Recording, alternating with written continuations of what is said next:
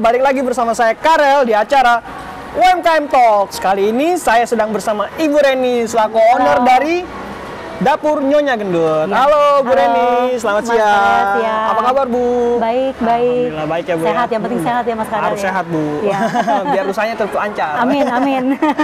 Oke Bu Reni, Ya. ah, saya mau tanya-tanya nih terkait ya, usaha ibu kan Iya. usaha ibu nih dapur nyonya gendut yang emang bisnis pertamanya itu adalah ayam, taliwang. Iya, Nah, dari pertama bu saya mau tanya nih bu, apa sih bu kenapa ibu memilih nama dapur nyonya gendut sebagai nama usaha ibu? Namanya unik ya Mas ya. Hmm, betul. Biasanya tuh orang kalau dibilang gendut marah ya, nggak suka ya kan ya, nggak suka. Ke ini dapur Nyonya Gendut itu sebenarnya panggilan sayang. Oh, nama panggilan, panggilan sayang. sayangnya justru Nyonya Gendut. Nyonya, Gendut. itu panggilan Siapa sayang di rumah. Oh, panggilan di rumah, iya Oke. di rumah tuh panggilan sayang anak-anak suami gitu ya semuanya itu panggilan sayangnya itu nah ketika kecetus pengen eh, usaha Hmm? ditanya nih mau brandnya apa nyonya gendut gitu sampai dengan mau bikin logo sampai dengan mau didaftarin yakin nyonya gendut gitu ya iya yakin gitu ya udah nyonya gendut Apa yang akhirnya meyakinkan bu? Maksudnya Kira-kira yang Oh. meyakinkan uh, harus pakai nama tersebut. Oh, kalau menurut aku eh, namanya unik, Mm-mm. Iya kan, namanya unik dan mungkin juga nanti orang gampang inget, Gampang ya ingat, orang benar, gampang benar, inget benar, dan juga mungkin kalau orang lihat eh, logonya, wah ini nyonya gendut udah tahu gitu. Brandingnya jadi lebih Iya, mudah diingat iya, ya bu ya. iya, mudah oleh diingat, betul. Customer-customer. Iya. Oke, baik. Dan selanjutnya kalau terkait dengan ibu kan seorang ahli profesi di bidang hukum ya bu ya. Iya, Yang ah, sudah betul.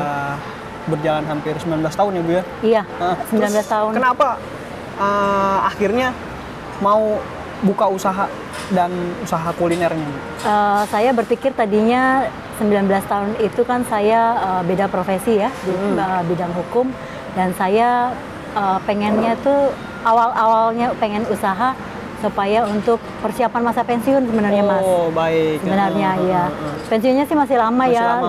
15 tahun lagi ya, masih lama banget. Masih lama banget. Tapi udah Iya, mulai dari iya, iya. Teman-teman juga pada bilang masih lama kok ini ya gitu. Hmm. Tapi saya memang eh, senang ya berdagang itu senang. Hmm, senang. Ya, jadi dari dulu juga udah udah pernah Oh, jadi berdagang. sebelum ada Sebelum ayam taliwang, iya. Udah Iya. ada sebelumnya. Iya. Apa tuh Bu kalau boleh tahu Bu? saya pernah eh, sepatu, jualan sepatu, produksi Hmm, sendiri. Produksi sendiri.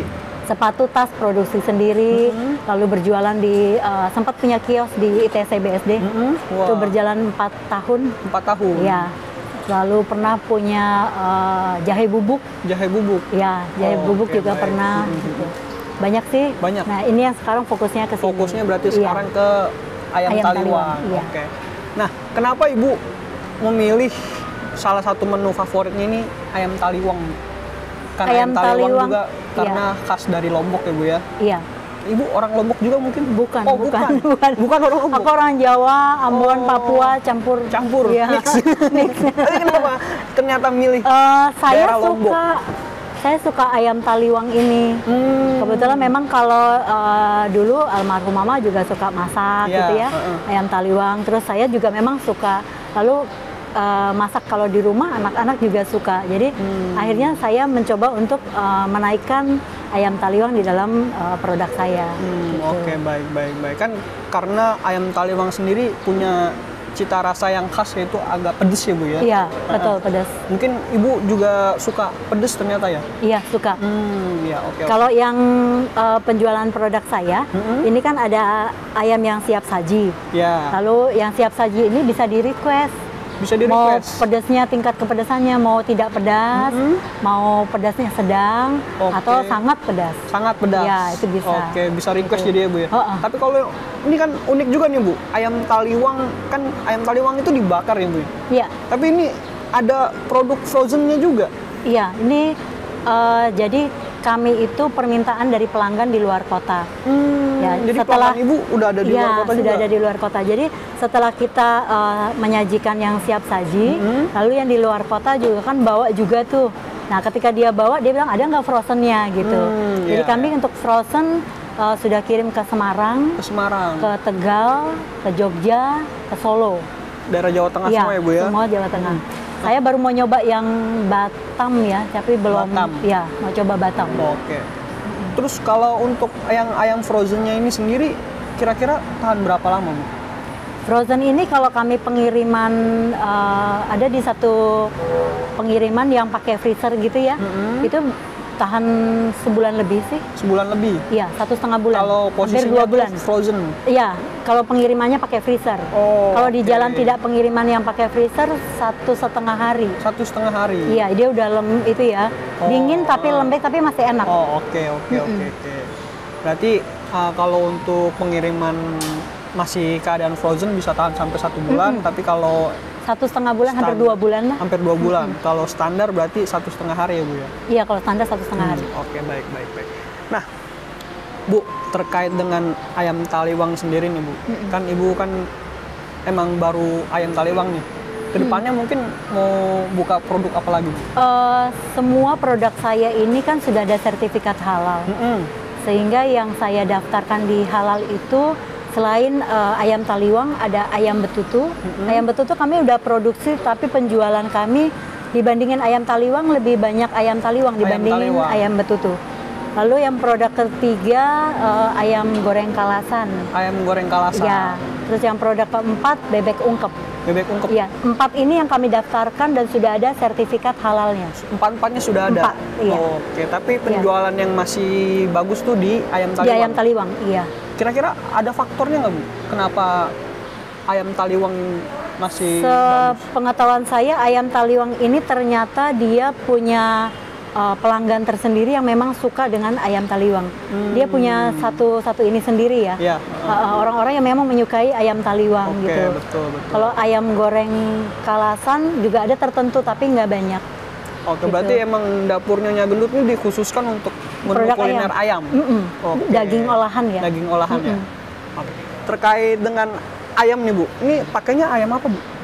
Ayam Ada kampung atau ayam, ayam negeri? kampung ada. Oh ayam kampung ada. Ayam negeri ada. Ayam negeri juga ada. Ayam pejantan ada. Jadi bisa request ya bu? Iya ya? bisa request. Kita bisa request. Iya. Tapi untuk penjualan nih bu, Penjualan, ibu ini selama ini menggunakan apa metodenya? Oh saya pakai masih WA Mm-mm. lewat WA ya Lewat WA. uh, WA lebih ke uh, dari mulut ke mulut Dari justru mulut ke ya mulut. dari teman ke teman terus dari dari teman lagi ke teman lagi Oke, gitu iya baik, baik. Tapi atau kalau- ada orang misalnya ngasih bingkisan ya Iya. ngasih bingkisan ke temennya nanti temennya referensiin lagi ke temennya Oh, ke oke. tantenya gitu Iya, Uh, iya, iya. Berarti kalau untuk pemasaran masih mulut ke mulut ya, Bu? Iya, ya? masih Heeh. lewat WA juga. Lewat WA juga, oke. Tapi media sosial udah mulai aktif belum untuk pemasaran? Aktif IG, oh aku Oh. dapat pelanggan banyak dari IG. Dari justru. Instagram? Iya. Wah, ada DM, mantap. iya. Kira-kira tipsnya apa tuh, Bu? Kalau mau pemasaran lewat Instagram tuh, Bu? Kalau IG dari- saya lebih ke jadi kalau saya posting di IG atau posting di FB pasti langsung ada yang beli. Oh, pasti langsung ada yang Oh, oh. beli. Iya, Ibu dari situ. nguploadnya produk juga testimoni juga ya, Bu? Iya dari testimoni dari juga ada dari juga pelanggan. ada. ya. Oh, oh. Oke, baik, baik, Iya. baik, baik. Nah, setelah itu Bu, kira-kira uh, salah satu keunikan dari produk ibu sendiri itu apa sih? Yang bisa membuat para customer ibu tuh kayak repeat order ya Bu ya? Kami ini dapurnya Nya Gendut menyiapkan eh, sajian makanan awalnya Mm-mm. itu untuk keluarga. Untuk keluarga. Ya, jadi eh, ayam dari kami ini tentu ayam yang berkualitas ya, Betul. yang bagus kualitasnya. Yang kedua dia dari porsinya lebih besar. Dari porsinya lebih iya, besar. karena aku pakai yang 800 gram, ke atas. Oke. Iya, jadi ya. dia ukurannya udah lebih besar dan itu bisa rame-rame buat buat rame-rame ya buat Benar, keluarga. benar, benar. Iya, dengan harga segitu worth it gitu Iya. segitu gitu. betul betul. Kayak gitu. Untuk bumbunya sendiri tuh gimana Bu? Ibu ngeraciknya itu? Bumbu. Bumbu jadi gini, ini ini ada keunikan dari dari masakan kami ini ya. Iya. Dapurnya Nya Gendut buat saya pelanggan adalah aset. Pelanggan adalah aset. Iya, pelanggan adalah aset. Sehingga pelanggan ini yang memberi masukan banyak banget untuk Hmm. eh, produk kami, terutama yang ayam taliwang ya. Hmm. Sehingga hari ini pun semua bumbu yang kami masak Iya. itu masukan dari pelanggan. Masukan dari pelanggan. Heeh. Wah. Jadi lucu-lucu tuh pelanggan tuh ada yang. Bu bisa nggak dibakarnya agak rata Iya, gitu ya heeh. atau nggak Bu ditambahkan kayaknya kurang uh, kencurnya eh Iya. kayaknya kurang bawang merahnya supaya lebih gurih mungkin caranya uh, ada satu chef Iya. yang memberi masukan ke saya dan itu yang memotivasi saya ya. Ini dulu terus habis itu ini baru ini.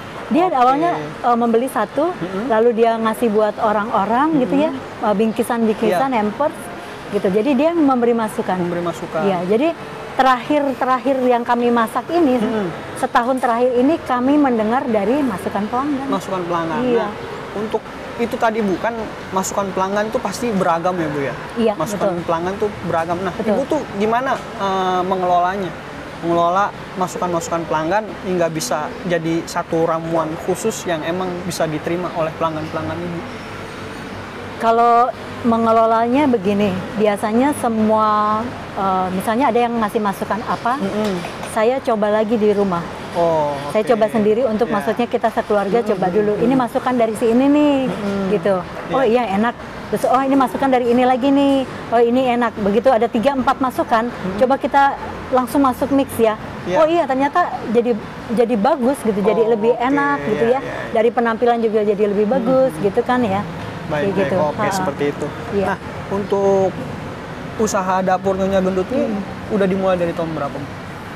Kami mulai 2019. Tahun 2019. Ya, Februari 8 Februari 2019. 8 Februari 2019. Iya. Nah, itu prosesnya bagaimana, Bu?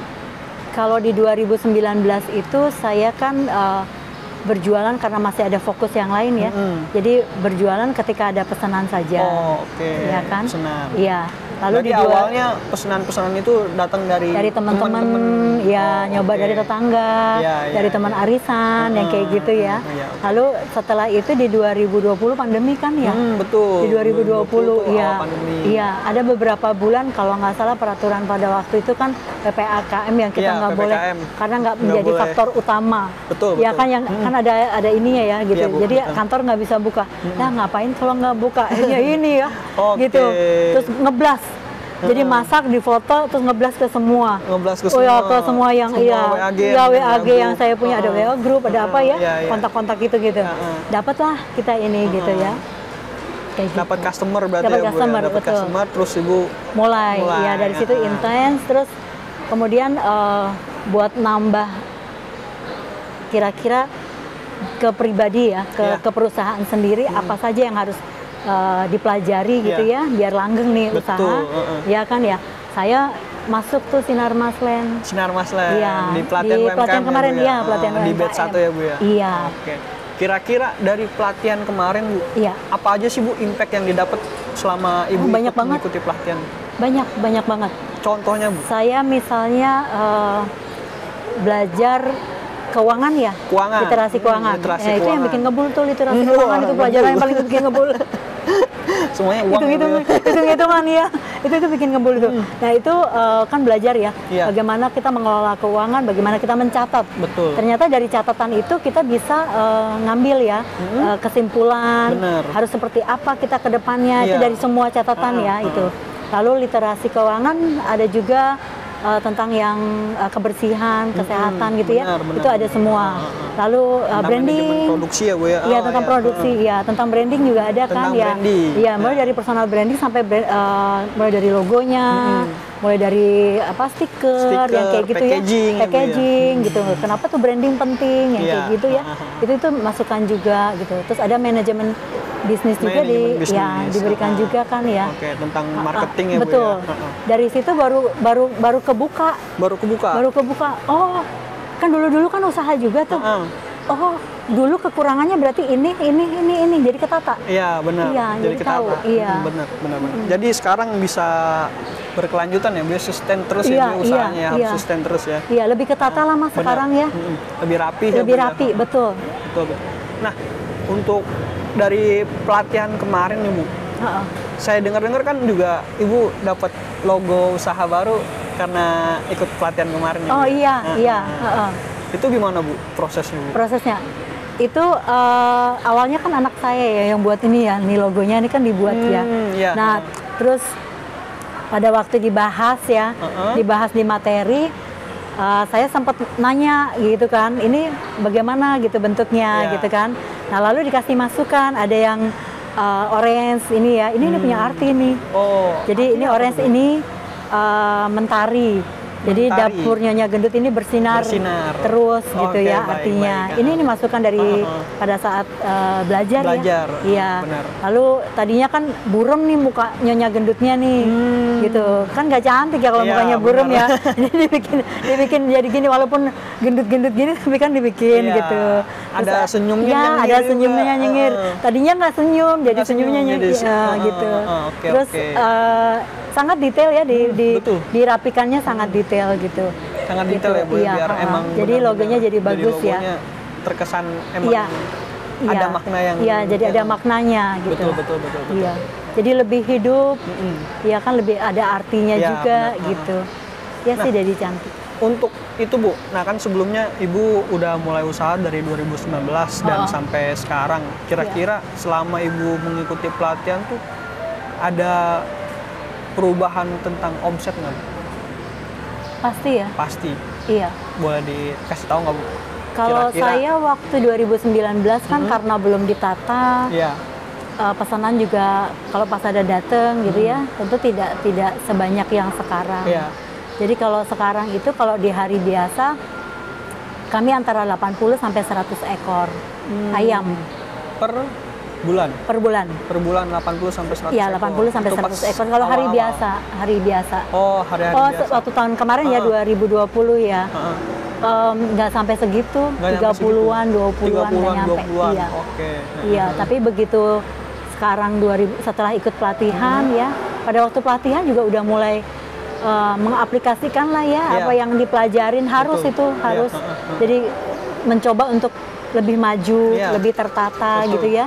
Jadi penjualan pada waktu pelatihan 50-an tapi meningkat terus. Meningkat terus. Iya, sekarang udah 80 sampai 100 kalau hari biasa. Hari biasa. Iya. Heeh. Kalau kayak bulan puasa Mm-mm. atau mau lebaran, Iya. Natal Hari-hari gitu ya, besar ya, Bu, hari-hari ya? besar. Mm. Nah, itu bisa 150 ekor. 150 ekor. Wah, naiknya hampir dua Iya, kali lipat dua kali lebih lipat. dari Iya. dua kali lipat ya Bu ya? Iya, Oke, iya. oke, oke.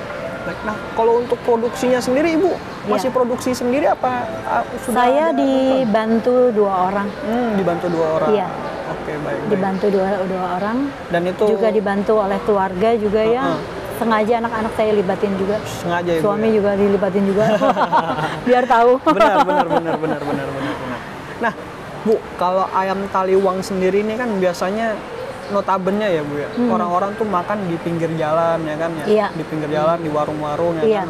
Ayam Iya. bakar taliwang gitu Iya. gitu. Nah, kenapa Ibu mau buat seperti ini Bu yang bisa Eh, saya bercita-cita pengen punya cloud kitchen Mm-mm. yang isinya masakan Nusantara. masakan Nusantara? Iya, gitu ya. Jadi kalau em, bukan nggak mau berjualan di pinggir jalan begitu, tapi saya ingin berbeda. Berbeda. Iya, lebih memanfaatkan kalau punya cloud kitchen berarti kan digital ya. Benar. Ya, lebih memanfaatkan digital, terus juga em, mengurangi eh, secara tenaga kerja juga nggak terlalu banyak ya. Benar, benar, Kalau kalau kita di pinggir jalan atau di Iya. tendaan tentu tenaga kita juga jadi lebih besar Betul. Iya kan lebih Setuju. tenaga juga sama juga em, budget dari SDM-nya tentu juga Hmm. jadi lebih besar. Mungkin juga karena cloud kitchen kan beda ya. kondisi sekarang ya Bu ya, Iya, pandemi ya Bu iya. ya. Orang-orang Orang pandemi pada juga beralih Beralih ke beralih ke ya, lebih yang lebih ya simpel, online. lebih efektif, lebih Betul, eh, iya, betul lewat digital sekarang. ya bu ya. Iya.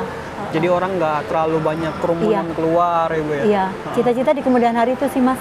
Bikin punya cloud cloud kitchen, kitchen. punya cloud Iya. kitchen sendiri. Wah Iya. mantap. Semoga Tapi bisa. isinya masakan amin amin. Isinya masakan Nusantara. Nusantara ya bu ya. Iya. Ayam masakan Nusantara ya. Semua, Wah, semua. Nusantara. Wah, Iya, pengennya mantap. begitu. Harus bu.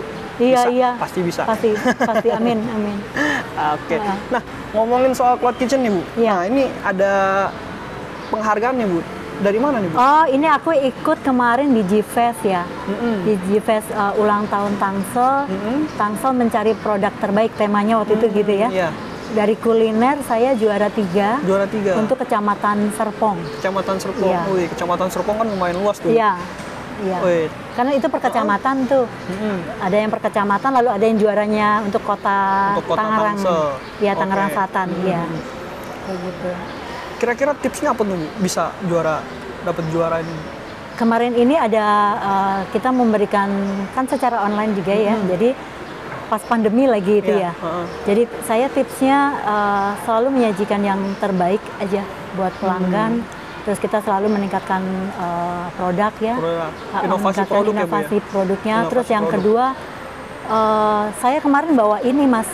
Selain Apa ayam taliwang ini saya bawa ini inovasinya. Iya. Jadi juaranya saya karena inovasi ini. Wih, itu apa tuh bu? Ini ayam taliwang rice box, Rice box. ayam taliwang. Mm-mm. Eh, tujuannya awalnya gini, ini kan eh, kekinian ya. Kekinian. Hmm. Ah, Jadi saya lagi ya, itu bu. box Ah. memang lagi lagi ngetren kan Ah, lagi ya. ngetren, bener. Jadi ini untuk anak-anak milenial tuh biar menyukai menyukai masakan Ma- Nusantara. masakan Nusantara. Iya. Siapa lagi kalau nggak yang ngelestariin kalau bukan kita gitu ya. Bener, iya, gitu. Jadi Setuju, setuju. saya mencoba untuk coba dibikin uh, yang kekinian. Jadi lebih dibikin kekinian. box ayam Oke. taliwang gitu. Juaranya kemarin karena ini karena itu. inovasi saya iya, iya. Tapi itu ayamnya utuh atau gimana? Ini ayamnya suwir. Oh ayam suwir. Ayam taliwang suwir isinya ya. Mm-mm. Nasi, ayam taliwang suwir, uh, tempe, telur, sambal mata. Oke, komplit ya bu ada tempe telurnya iya, juga kenyang ada sambal ini kenyang makan segini. Harganya berapa bu kalau boleh tahu bu satu kotak? yang Bu? ini Heeh. lagi promo 25.000 dua puluh lima ribu. Lagi promo loh, lagi promo. Itu cocok banget bu. Oh, ini di. Intermodal kita jualnya Wah, 25.000 iya. lagi promo. Di SML UMKM Corner ya bu ya? iya. Ah, Harganya dua puluh lima ribu aja. Iya, Nah, buat teman-teman kalau mau beli ayam taliwang rice box-nya bisa langsung ke sini di SML UMKM Corner. Oke, Bu, saya boleh Oh iya iya, iya boleh boleh boleh. Ayo ayo ayo. Wah, kayaknya enak nih, Bu. Sebentar. Simple ya, Bu ya. Iya. Ibu juga makan dong. Ini saya cobain ya, Bu ya. Iya. Wah, packagingnya simple. Uh, isinya penuh. Isinya penuh. Mau lihat tuh. Full. Haha. isinya full. Ayamnya banyak. Ada telur, ada tempe, ada sambal matanya juga. Ada timunnya nih, ada timun. Oke. Silakan. Terima kasih Bu. Langsung aja kita cobain ya. Iya. Bismillahirrahmanirrahim.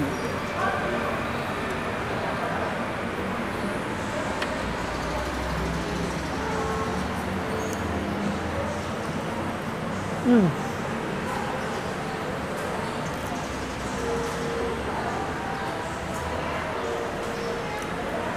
Enak Bu, Enak ya? mantap.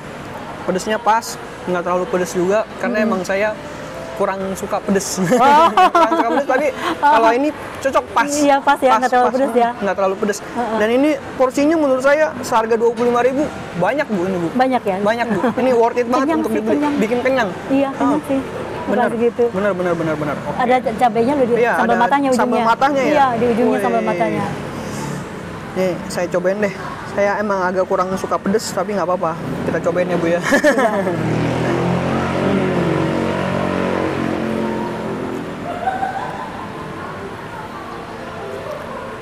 Sambal matanya juga segar, Bu.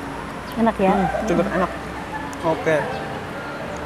Nah, Bu, kira-kira apa sih rencana Ibu ke depannya untuk ayam taliwang Ibu sendiri? Atau dari dapur Nyonya Gendut? Saya ke depannya eh, kan tadi yang pertama ibu mau bikin cloud kitchen nih Iya, cloud Ah, kitchen, cloud betul. kitchen tentang pokoknya menunya semuanya menu Nusantara. Nusantara Iya. Heeh. Ke depannya saya akan launching rice box juga, Rice tapi box lebih juga. ke beef daging sapi. oke Karena masukan dari pelanggan lagi. masukan dari pelanggan Iya. lagi tapi diolahnya pakai apa tuh bu kalau beef Nanti kan beef biasanya kan itu ada luar bumbu. ya bu ya Iya. olahan daging dari luar kan ya dari Dagingnya luar daging sapi sini sih lokal. lokal Daging sapi Hmm. sini. Cuman kami olah dengan bumbu-bumbu yang Nusantara ya, tentu Hmm. bumbu-bumbu eh, lebih ke bumbu yang Bali. Bumbu Bali Iya. oh lebih ke oke. bumbu Bali. Mm-mm. Lalu nanti ya kami kasih kayak sayurnya daun singkong, ada timun juga, Baik. ada sambal mata juga Oh, iya. gitu. Itu masukan dari pelanggan loh. Itu masukan dari Itu pelanggan. masukan dari pelanggan. oke Ya, mudah-mudahan Agustus nanti kita launching. ya. Wih, mantap Bu. Semoga Iya. bisa sukses dan Iya. penjualannya Amin, meningkat lagi. Amin, amin. Iya. Baik Bu, Eh, boleh nggak nih Bu, kita Ibu Reni Iya. kasih sedikit pesan kepada teman-teman UMKM semua supaya Oh, iya. emang terus bisa semangat dan seperti Ibu Reni sendiri. Iya. Eh, buat teman-teman UMKM terus belajar, terus semangat, menggali ilmu untuk terus memperbaiki diri maupun memperbaiki produk. eh, jangan cepat bangga dengan produk sendiri. Benar. Terus terus eh, belajar terus, terus gali relasi juga dengan orang lain gitu ya. Meng- kalau bisa ikut satu komunitas, Mas. Ikut satu komunitas. Ya, ikut satu komunitas itu jadi kita membangun juga. Nanti ada komuni- di dalam komunitas biasanya ada eh, informasi-informasi tentang pelatihan, Betul. terus tentang eh, perizinan. Dari situ kita akan Banyak- maju bersama-sama dengan teman-teman yang setuju, lain. setuju, Iya, setuju, setuju, kayak setuju. gitu sih. Pokoknya semangat terus. Harus semangat. Nggak penting. boleh putus asa.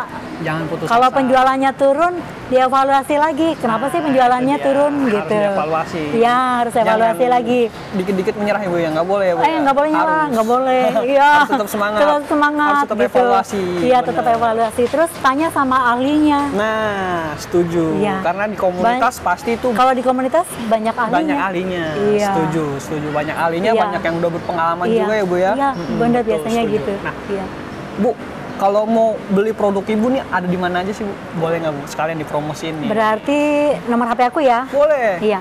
087 087 88 88 711 711 48 47. 4847. Nah, nanti Iya. ada di bawah sini nomornya. Iya. Dan boleh Bu, IG-nya sama Facebook-nya Bu. Kalau Facebook aku Reni Bernadetta. Reni Kalau Bernadetta. IG uh, @nyonya dot gendut. Nah, at nyonya.gendut. Iya, nah, kalau- bisa langsung pesen di situ ya Bu ya? Boleh boleh pesan di situ. Nah, Boleh. Atau teman-teman juga bisa langsung datang ke Pasar Datang Modern ke Intermoda, aja. tepatnya Setiap di Sabtu. SML Wanggang Corner. Setiap hari Sabtu ada resbox. Ada resbox. Kalau setiap harinya ada yang ayam frozen. talian frozen. Nah, Iya. bisa langsung dibeli di sini. Oke lah, mumpung lagi ada promo nih. Mumpung Racebox, ada promo Racebox-nya. Satu Racebox 25.000. 25.000. Udah ngenyangin banget. Mantap. Oke, Siap. Bu. Iya. Siap, terima kasih banyak ya, Bu ya. Sama-sama, Mas Karel. Iya. Meluangkan waktunya untuk Makasih, kita sharing-sharing. Iya, iya. Semoga usaha Ibu terus meningkat Amin, ya, Bu ya. amin. Doain ya. Semoga impiannya juga Iya. untuk buat cloud kitchen Iya. ter- Amin, terwujudkan. amin, amin, amin. Oke. Terima kasih teman-teman semua yang udah menonton. Saya pamit undur diri. Sampai jumpa lagi. Dadah.